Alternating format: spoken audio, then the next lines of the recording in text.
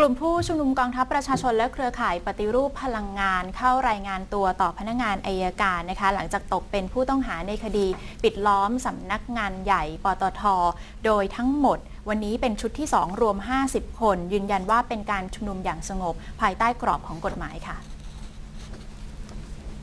นางสาวพวงทิพย์บุญสนองทนายความ ได้นำกลุ่มผู้ชุมนุมกองทัพประชาชน และเครือข่ายปฏิรูปพลังงานไทยหรือกคป ชุดที่ 2จำนวน 50 คน เข้ารายงานตัวต่อพนักงานอายการคดีพิเศษสำนักงานอายการพิเศษ ฝ่ายคดีอาญา 8 หลังตกเป็นผู้ต้องหาคดีมั่วสุมกันตั้งแต่ 10 คนขึ้นไป บุกรุกสถานที่ราชการ และฝ่าฝืนพระราชกำหนด การบริหารราชการในสถานการณ์ฉุกเฉินจากกรณีที่เมื่อวันที่ 13 มกราคมที่ผ่านมานายแพทย์ระวีมาชมาดล แกนนำกคปนำผู้ชุมนุมและรถบรรทุกติดเครื่องขยายเสียง ปิดล้อมและบุกรุกเข้าไปในพื้นที่สำนักงานใหญ่บริษัทปตทจำกัดมหาชน เพื่อโจมตีการทำงานของรัฐบาล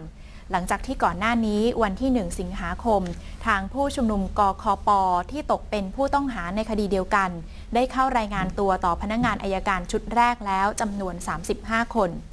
ด้านนางสาวพวงทิพย์เปิดเผยว่า พนักงานสอบสวนได้สรุปสำนวนส่งพนักงานอายการทั้งหมดแล้ว จึงต้องนำตัวผู้ต้องหาทั้งหมด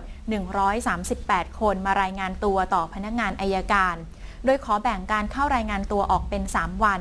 ซึ่งในวันนี้เป็นการนำผู้ต้องหาชุดที่ 2 เข้ารายงานตัวจำนวน 50 คน รวมแล้วมีผู้ต้องหาเข้ามารายงานตัวทั้ง 2 ชุด รวม 85 คน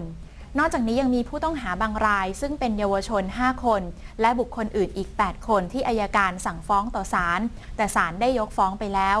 ส่วนผู้ต้องหาชุดสุดท้ายจะเข้ารายงานตัวในวันที่ 8 สิงหาคมนี้จำนวน 40 คน รวมทั้งสิ้น 151 คน ด้านนายแพทย์ระวีมาชมาดล แกนนำกคปกล่าวว่าการชุมนุมที่อาคารสำนักงานใหญ่ปตท ตั้งแต่วันที่ 25 มกราคม ถึงวันที่ 28 กุมภาพันธ์ที่ผ่านมา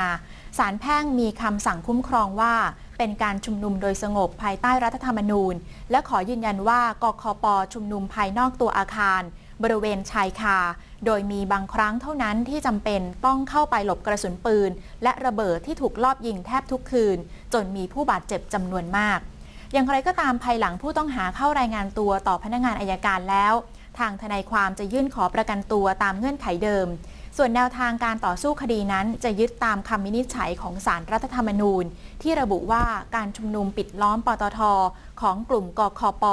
เป็นการชุมนุมโดยสงบ ปราศจากอาวุธ ไม่ขัดต่อกฎหมาย พร้อมกับเตรียมรวบรวมพยานหลักฐาน และพยานบุคคลเพิ่มเติม เพื่อต่อสู้คดีในชั้นศาลต่อไป